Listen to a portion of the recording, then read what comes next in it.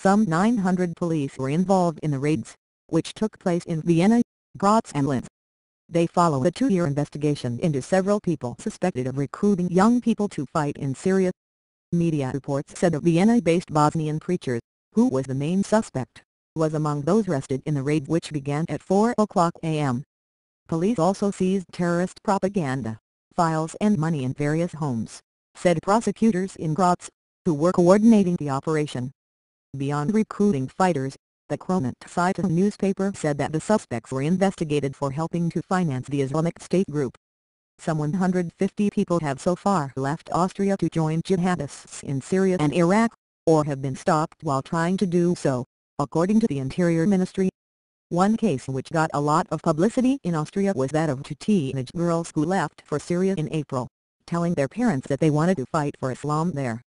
Vienna is considered by counter-terrorism experts such as John R. Schindler to be a hub of global jihad.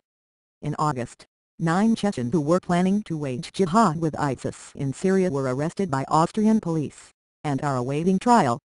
Austria's Federal Office for the Protection of the Constitution and Counterterrorism Bundesamt FDR Verfassungsschutz und Terrorismusbekämpfung warned in June over the threats faced by the country, saying, religiously motivated extremism and terrorism, above all of Islamic character, as well as Salafi jihadi groups continue to present a great potential threat the number of young radicalized followers of violent Salafism continues to rise.